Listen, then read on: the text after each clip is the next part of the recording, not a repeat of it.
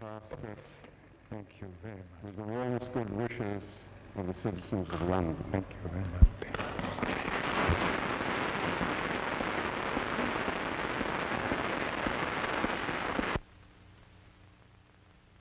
My Lord Mayor, may the City of London remain the home of public-spirited and high-minded citizens that it is today.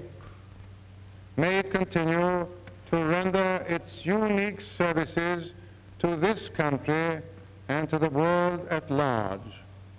And may the friendship between the city and Sweden grow ever closer as the years go by.